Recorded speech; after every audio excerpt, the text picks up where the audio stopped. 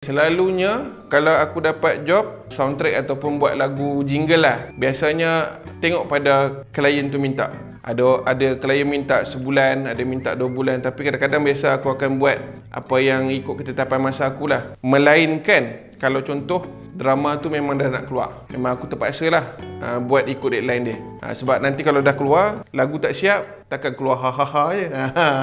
Hampa pula tengok tak best. Uh. paling laju yang aku pernah uh, kalau ikut kenangan aku lah drama Hidayah Muda Ramadan. Masa tu aku buat tiga hari. Waktu paling laju lah tiga hari. Bayangkan tiga hari buat dapat siap semua rekod semua pergi hantar dekat editing terus nanti minggu depan nak keluar kat TV bayangkan. Oh itu memang kenangan lah. Aku rasa tak terseksa ha, sebab itu adalah pengalaman manis yang memang cabaran ha, untuk aku hasilkan karya tapi Alhamdulillah lagu tu mendapat impact dan juga drama tu menjadi uh, fenomena juga masa tu. Kau biarkan masa berlalu dan biarkan tangis tawamu menemankan sepi malam dengan rasa cintanya.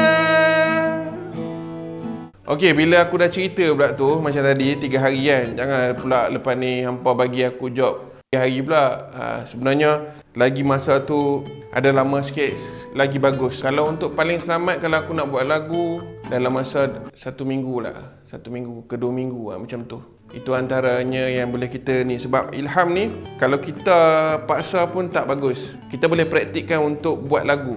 Ha, Untuk anak muda yang nak buat lagu ha, Masa yang akan datang kan Mereka kena memberikan masa dan ruang. Bila tak boleh push Hang tidak. Sambung esok. Hanya buat buat buat buat. Nanti hasil tu Dia tidak mendapat sentuhan kalbu. Uh, setakat ni jujurnya aku tak pernah lagi lah rasa macam apa rasa macam bila aku buat satu karya tu aku rasa macam rugi. Uh, setakat ni Alhamdulillah semua apa yang aku dapat buat semuanya memberikan kerjasama yang bagus. Paling lama yang aku pernah buat lagu uh, setahun lah. Uh, ini lagu yang berkenaan dengan aku punya bukan melibatkan klien lah. Personal lah yang aku nyanyi ya. Lagu tu pun belum dikeluarkan lagi. Ah, teaser aku rasa boleh aku rasa. Alah-alah sebab nanti dia nak keluar ada drama kan. Ah.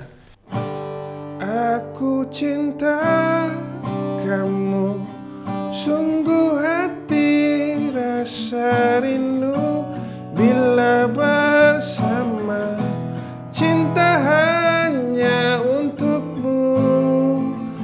yang selalu aku cintai.